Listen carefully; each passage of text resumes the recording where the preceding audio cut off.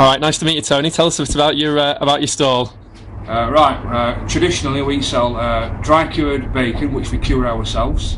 Uh, as you can smell yourself today, we're cooking roast beef uh, and roast ham, which we sell uh, cold on our cut meat stall. Um, we sell uh, a good variety of Lancashire cheeses, uh, and fresh eggs, you know, Fantastic. basically things like that, gammons. Get a little pan out here so everyone can see.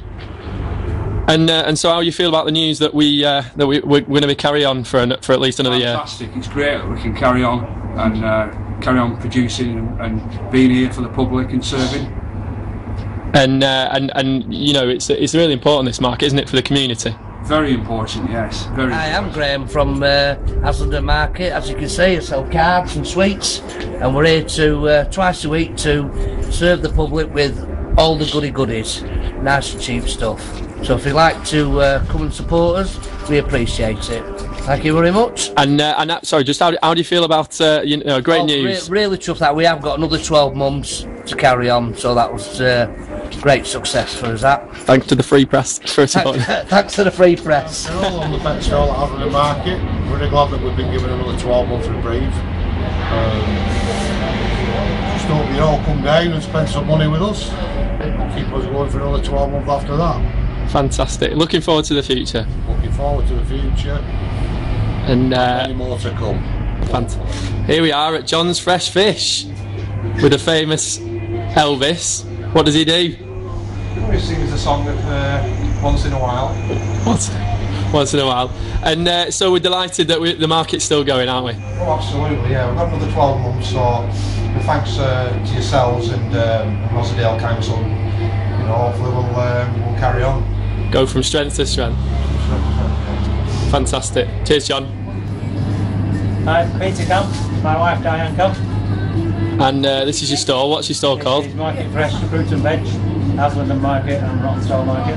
Fantastic. And um, so very pleased with the news that we're uh, we're carrying on. Oh, we're over the moon, yeah. Yeah, Very happy. definitely. Yeah. And what what does it what does it mean to you? Just Well, it means we can carry on trading and uh, we can carry on trading at Rawtenstall and all. and looking forward to the next 12 months.